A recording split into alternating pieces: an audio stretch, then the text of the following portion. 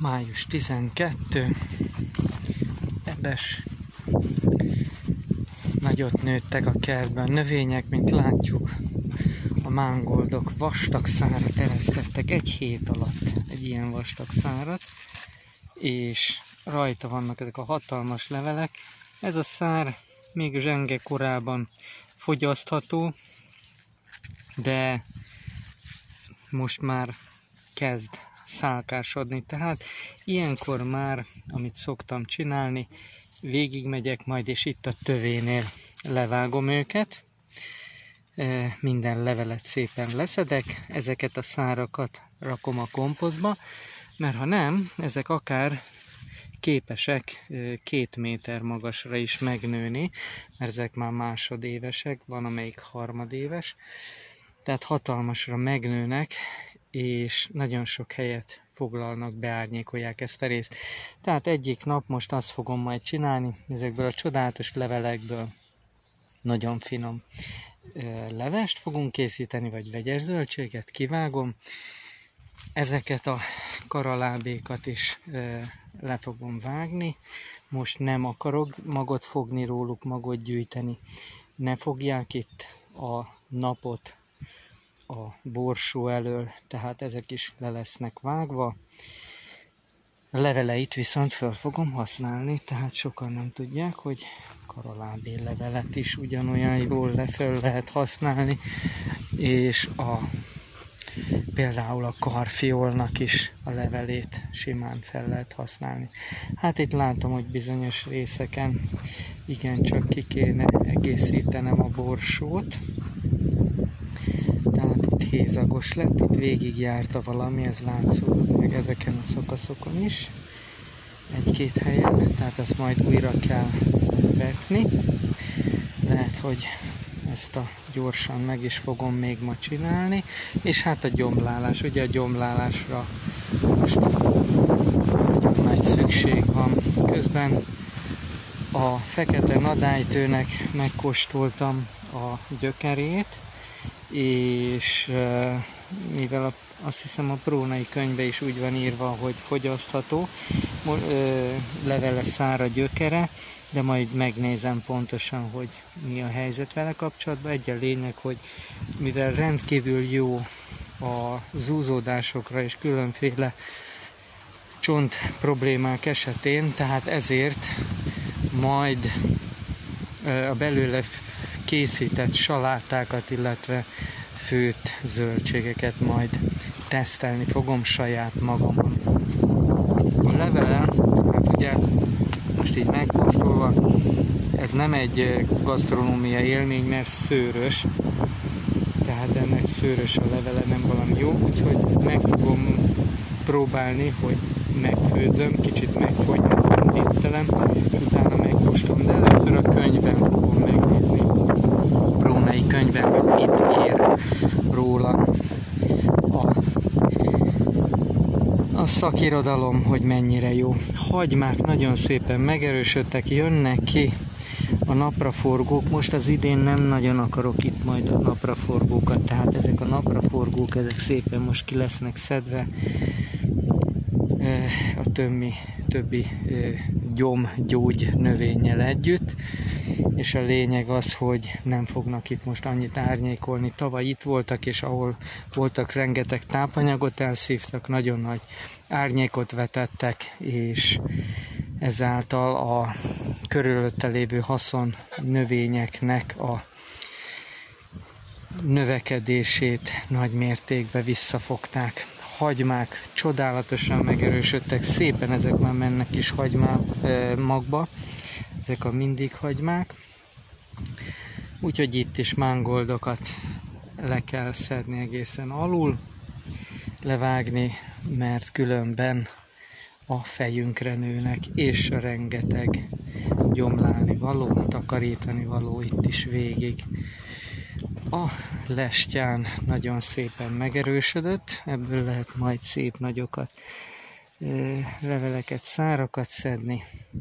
És itt is, amiket beszórtam, vegyes zöldségmagokat, petrezselyen zöld, répa, kapor, ezek mindegyik karalábi, szépen jönnek ki, úgyhogy csak ki kell szépen gyomlálni, és a többi majd végzi a maga dolgát. Itt már, ahogy látom, Vakond úr is dolgozott, ő is már tevékenykedett. Itt a kiírthatatlan citronfű, tehát ezek mindenütt mm, itt vannak, de nagyon imádom néha rákcsálni a leveleit. És itt van a csodálatos, egy hét alatt ennyit nőttek, 30-40 centit nőttek ezek a menták, csodálatosak. Úgyhogy néha feltésztelés közben kis citromfű levélrákcsálás, ment a levélrákcsálás, és már is homeopatikusan adtunk egy olyan hatást az ízlelő bimbunknak, az emésztőrendszerünknek, ami mindent tökéletessé tesz. Most pedig a mai napnak kísérletezése, ezek a paprika, ott hátul pedig majd, majd paradicsom palánták lesznek. Ezeket vette Éva, paprika palántákat, és leástunk ilyen két literes palackokat. Az oldalát egy, egy kicsi lyukat ö, ö, vágtunk rá, furtunk rá, tetejük le vannak vágva, ezek lesznek feltöltve minden nap vízzel, a kicsi lyukon át pedig a gyökérzónát fogja öntözni. Pont oda megy a víz, ahova kell, szépen mélyre a gyökerekhez. Persze felülről is itt a tövénél egy kicsit meg lesz öntözve, de ez a, ez a teljes, ez, ez biztosítani fogja neki azt, hogy ha akár egy nap kimarad az öntözés, akkor is nagyon jól fogja bírni. Hát egy aprócska, picike, két milliméteres kis lyukat furtunk és az bőven ellátja a dolgokat. És itt lesznek majd a, a paradicsomok. A paradicsomokat már nagyobb távra, hát körülbelül egy méteres távolságra fogjuk egymástól ültetni, néha lehet többre is, mert nagyon szépen tudnak növekedni. Nagyok lesznek. Itt pedig a, a cékla van elvetve, ezt egy héttel ezelőtt, pont mielőtt indultam, akkor vetettem a céklákat, de itt már huncut répák és tavalyról huncut paradicsomok már jönnek ki, és a huncut mángold is.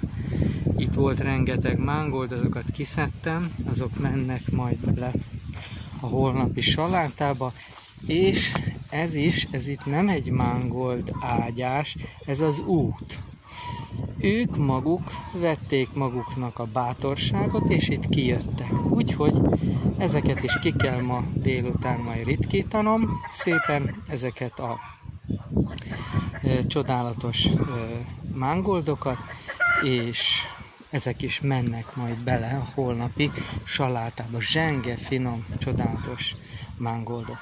Ez pedig, ha minden igaz, ez, ez, ez a mm,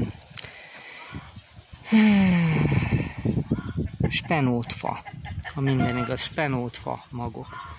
Nagyon szépen megnőttek, megerősödtek, és azt hiszem, ezek vannak erre felé is, hol is, itt, igen, ezen a részen is. Nem. De. Nem, ez az, ez az, ez az, ez az. Itt vannak azért, mert ezek itt mángoldok, mángold, meg ott is, itt is a spenótfa, nagyon szépen megerősödtek, úgyhogy amikor majd hűvösebb lesz, este felé meg is fogom locsolni őket.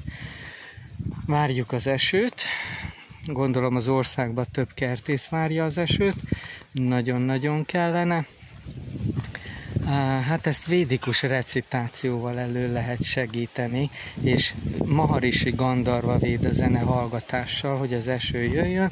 Tudom, ez egyeseknek olyan misztikusan hangzik, de akik ismerik a Maharishi transzcendentális meditációt, a TMCD-t, vagy a mantra meditáció jogát, amit én oktatok, ismerik a jagják hatását, védikus asztrológiát, azok tudják, hogy nem a levegőbe beszélek. Itt kiirtottam a mángoldokat, nagyon sok mángold volt, néhány gyökérben maradt, gyökér darabka. Azokat a gyökereket elvittük a Bihar Nagybajomi előadásomra, amit az Ayurveda a hétköznapokban tartottam, ezt egyébként a YouTube-on meg is lehet nézni, ezt ajánlom mindenki figyelmébe, nézzétek meg.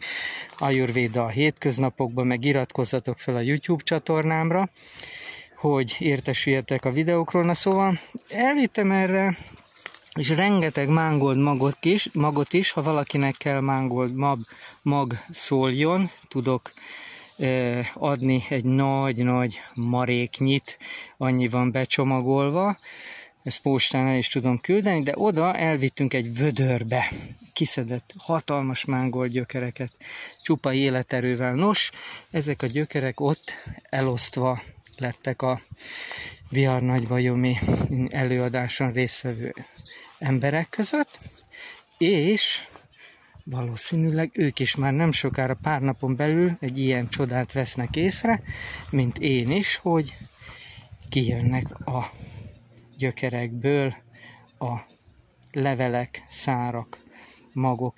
Ez pedig csak egy gyökér darabka, tehát a főgyökeret kiszedtem, és így is fölmegy, hoz majd néhány magot, elveti, elszórja, és jövőre itt megint mángold lesz. Tehát ez egy csodálatos növény, csodálatos növény, és tényleg, ha levesről van szó, akkor mindig azt mondom, hogy ez egy alapvető zöldség, ami sok mindenre használható.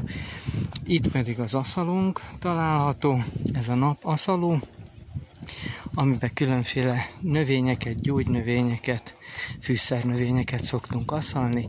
Itt szoktam megkapni a napot, ezen a sötét felületen van egy föl a meleg levegő, kis apró lyukak vannak itt, azon beáramlik, és itt vannak fent a tálcák, és itt száradnak a különféle növények, növénykék. Tehát ez a csoda is működik itt a nyári időszakban. No de most már kalandra munkára fel, úgyhogy eddig tartott ez a kis videó. Mindenkinek jó kertészkedést kívánok, ne ijedjetek meg, amikor fűnyírásról, fűkaszálásról van szó, ne ijedjetek meg a kapálásról. Gondoljatok bele abba, hogy nagyon sok ember kocsival elmegy azért egy konditerembe, hogy vasakat emelgessen, és nagy örömmel teszi ezt, és ennek megfelelően az ember tud aerob gyakorlatot végezni a kertbe is, és ott különféle súlyokat, kis súlyokat, kapanyelet, ásónyelet emelni és szapora munkát végezni, és ennek még eredménye is van, nem csak a konyhába, de a fiziológiába is, és nagyon jó belső nyugalmat ad az embernek. Áldás minden kis kertésznek!